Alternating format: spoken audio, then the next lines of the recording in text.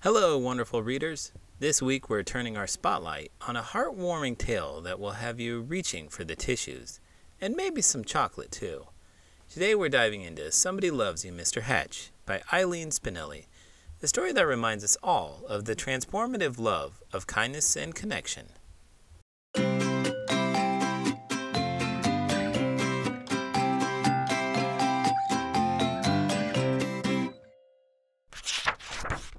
Historical and Cultural Perspectives. Published in 1991, Somebody Loves You, Mr. Hatch came at a time when the world was navigating with complexities of a rapidly changing society. With the Cold War ending and the dawn of the Internet age, there was a burgeoning focus on community and the impact of small, meaningful actions. Eileen Spinelli's story taps into this zeitgeist, emphasizing that even the smallest gesture of love can have profound effects.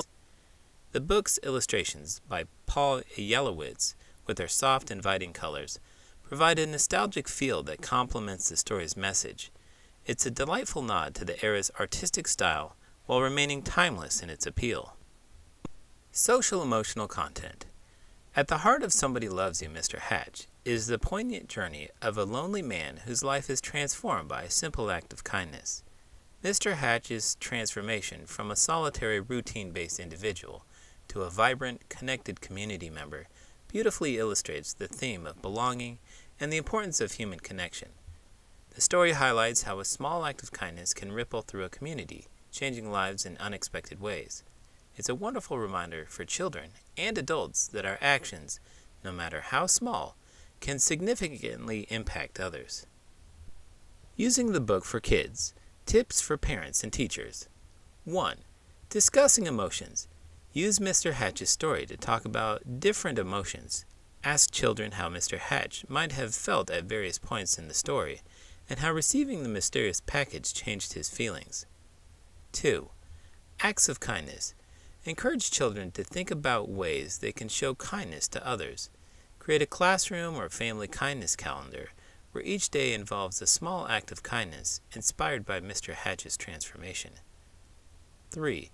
Community building. This book is an excellent starting point for discussing the importance of community. Engage children in activities that foster community spirit, such as group projects or community service initiatives. 4. Creative writing. Have children write their own letters or cards to someone they care about. This can help them understand the power of words and the joy of giving. 5. Role playing. Act out scenes from the book to help children empathize with Mr. Hatch and understand the impact of kindness. Role playing can also be a fun way to build social skills and confidence. Humorous takeaway. Let's be real for a moment. Who among us hasn't fantasized about a surprise package of chocolate arriving on our doorstep?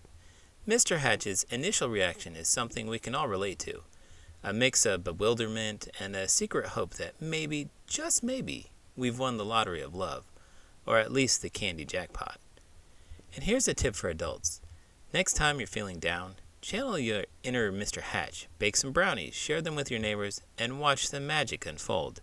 You might just become the hero of your own heartwarming tale. Until next time, keep spreading the love, and remember where there's a Williams, there's a way. Happy reading, and may your days be filled with unexpected joys. To buy your own copy of this book, and to support this channel, click the link below. Do you have a picture book for Adam to review? Email us your suggestion at beastlybanterblog at gmail.com.